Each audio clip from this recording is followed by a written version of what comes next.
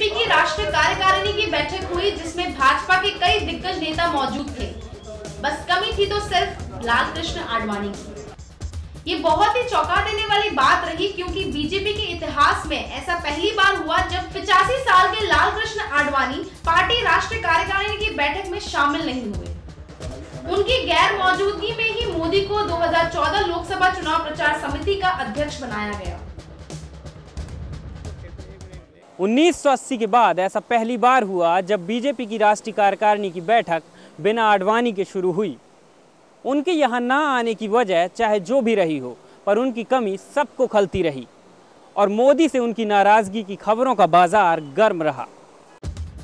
अगर हम 1980 की बात करें तो महज अटल बिहारी वाजपेयी और लाल कृष्ण आडवाणी ही थे जिन्होंने बीजेपी की नैया पार कराई थी। और आज वाजपेयी के संन्यास के बाद आडवाणी को पार्टी के कुछ नेता संन्यास लेने को मजबूर कर रहे हैं। जहाँ आज आडवाणी को होना चाहिए, वहाँ मोदी आ चुके हैं। चुनाव अभियान के अध्यक्ष के रूप में चेयरमैन के रूप में यह ज़िम्मेदारी मैं नरेंद्र भाई को दूँ। इसीलिए मैं नरेंद्र भाई को मैं पुनः अपनी बात दोहराना चाहता हूँ कि मैं इलेक्शन कैंपेन कमेटी के चेयरमैन के रूप में मनोनीत करता हूँ। हुआ भी ऐसा ही कुछ। मोदी के आने के बाद आडवाणी ने पार्टी के सभी पदों से इस्तीफा दे दिया। हालाँकि आडवाणी को मनाने का दौर जारी है। भारतीय जनता पार्टी के पालक हैं।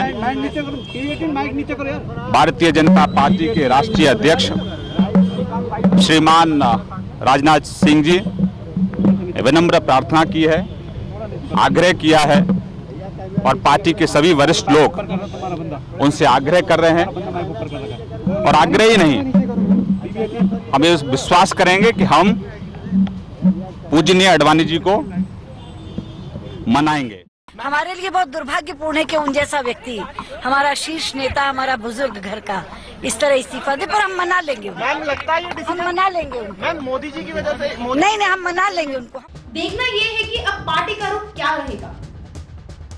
अब हम एक नज़र डालते हैं आडवाणी जी के इस्तीफे